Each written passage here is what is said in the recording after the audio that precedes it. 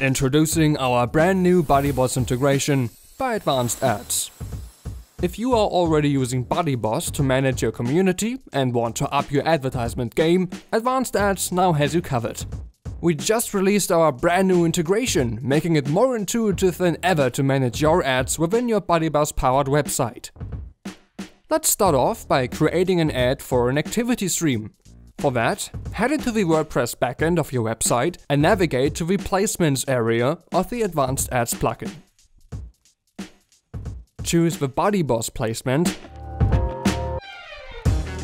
and configure after which entry you want the ad to show, if it is supposed to repeat, and what stream you like the ad to be injected into.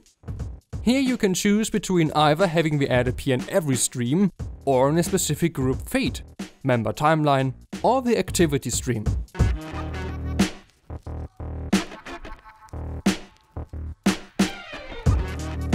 If you want to target one group specifically, choose the BuddyBoss group condition and add the group by clicking on it.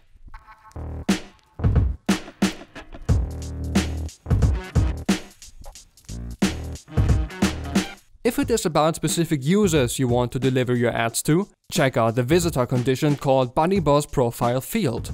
Here you can adjust the ad to fit your predefined user parameters such as age, gender or geographical region for example.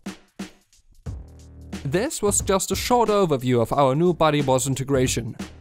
It really is a powerful tool designed to help you streamline the ad management of your BuddyBoss page even better and target your users to fit your needs. Advanced Ads, the ad management plugin for WordPress.